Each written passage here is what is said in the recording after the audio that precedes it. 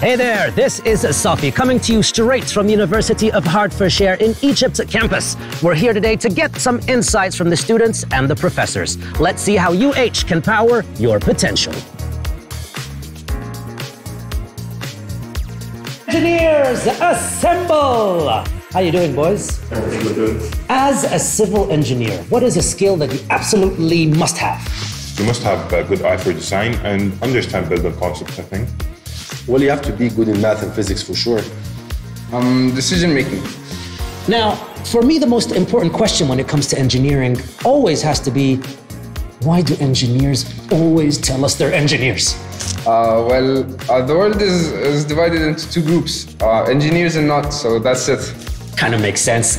Um, can you tell me a feature about this program that is very unique to UH and cannot be found anywhere else? Of course, uh, we have an application called StudyNet, which allows students to access their module electronically and uh, have conversations with other students overseas, not just on campus.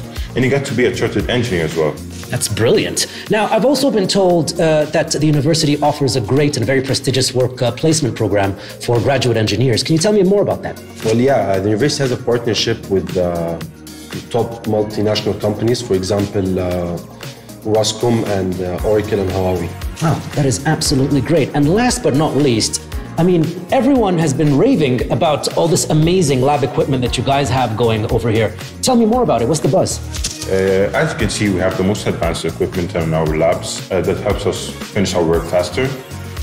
Well, all or most actually the equipment are computer aided, which help us to get the tests uh, results fast as possible and help us to finish our work very fast. Well, uh, they forgot the most important thing, and it's that it's on campus, and that helps us uh, with the process. And plus that, the tutors help us in every step of the way. Well, that is amazing. And speaking of your tutors, I'm off to chat with one of your professors. But in the meantime, because you're engineers and you have to put the word engineers in everything, let's hear engineers on three. One, two, three. Engineer! Yes! And here we are in the civil engineering department to have a chat with one of the professors. Professor, can you tell us how the civil engineering department in UH is set apart from the other engineering universities? Well, to name one, we have in our backyard one of the biggest construction fields in Egypt, or probably the region. And as such, the students get to see a lot of construction projects as they're ongoing, and as such, they're very much of a hands on learning. On the other hand, we have lots of ties with industry and other authorities that are dealing with construction in the country, so that's another venue where they have more hands on learning and training. That is amazing. Now, what about the latest advancements in civil engineering that are being taught here at UH? Well, there's a big focus on sustainability uh, sustainable construction methods, sustainable design, and as such, students get to learn a lot more about what happens with the environment.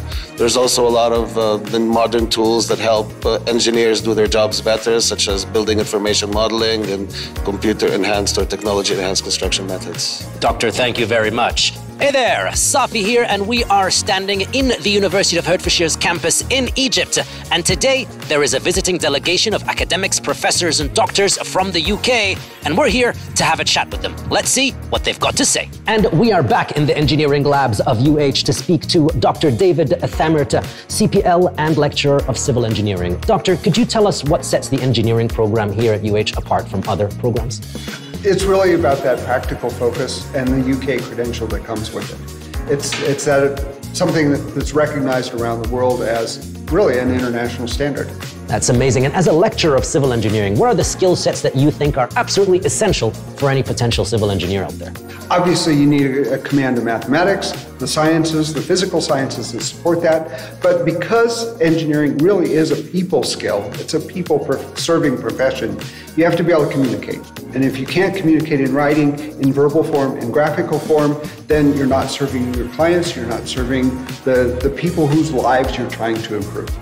Doctor, if I were a potential engineering student, those are the words that I really needed to hear. Thank you so much for your time and best of luck powering the potential of all these brilliant young minds. My pleasure.